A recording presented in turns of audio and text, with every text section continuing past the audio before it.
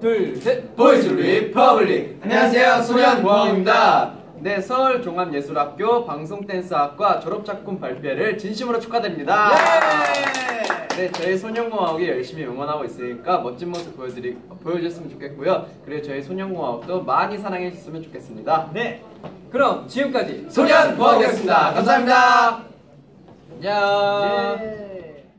네, 안녕하세요. 샤넌입니다.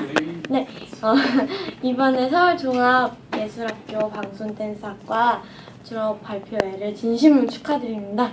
예, congratulations. 네, 어, 앞으로도 방송댄스학과의 어, 발전 기대하겠습니다.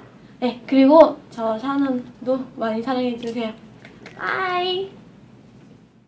안녕하세요, 돈바시입니다. 네, 서울 종합예술대학교 방송댄스학과. 네, 졸업 작품 발표회를 진심으로 축하드립니다. 축하드립니다. 야, 드디어 졸업 작품 발표를 합니다. 그렇습니다. 방송 댄스학과. 네. 아, 그 중심엔 또 정진석 교수님께서 그렇습니다. 또 계시는데 지금 저희 콘서트 때문에 정신이 없으세요? 네, 요즘 굉장히 저희 때문에 바쁘셔가지고 네.